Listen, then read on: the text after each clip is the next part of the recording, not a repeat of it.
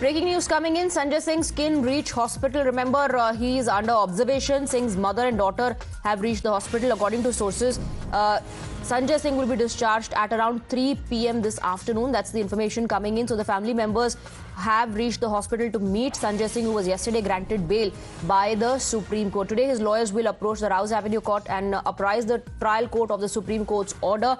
Uh, the fact that he has been uh, able to get bail from the Supreme Court. Uh, yesterday, he underwent a medical uh, checkup. He is under observation at uh, the hospital where his family members have started reaching now. Mother and daughter of Sanjay Singh are at the hospital to meet him.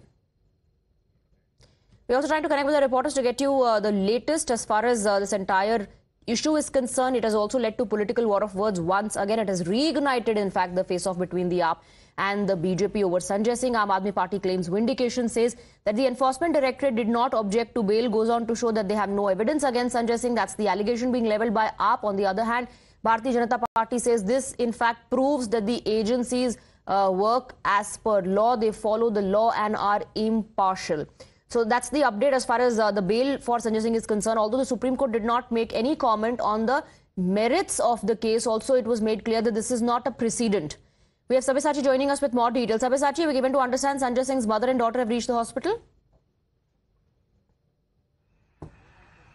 Well, absolutely. Straight away, show the visuals out here. We are reporting live uh, from the ILSBS hospital here in the national capital and Sanjay Singh's wife, Sanjay Singh's mother as well as Sanjay Singh's daughter have reached uh, the hospital.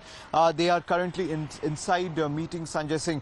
See, as per the sources, what we got to know is that Sanjay Singh might be discharged at uh, between 11 a.m. to 12 p.m. is the time when Sanjay Singh uh, would be released, will be discharged uh, from the hospital. Uh, then he would be uh, most likely taken to uh, back to Tihar jail from where uh, he would be released. meanwhile, slowly the party workers also have started to come in here at the hospital. We also try to speak with the wife of Sanjay Singh, Anita Singh. She said that the party will celebrate once uh, the, uh, three of the other Aam Aadmi Party leaders are out on bail, uh, Chief Minister Arvind Kejriwal, Manish Sisodia and Satyendar Jain. Once all of them are out, then there would be a grand celebration. Meanwhile, she also said that there are plans after Sanjay Singh comes out on, on, on bail. Uh, the first thing that they would do is to go and meet the family members of Arvind Kejriwal, Manish Sisodia as well as Satyendar Jain. Back to you. Absolutely. Uh, so you're saying that after being discharged from the hospital, he'll be taken back to uh, uh, Tihar jail. Also, his uh, lawyers are going to be approaching the Rouse Avenue Court, the trial court, to apprise them of uh, the developments taking place in the Supreme Court. So, Sabyasachi, stay on with us. Let's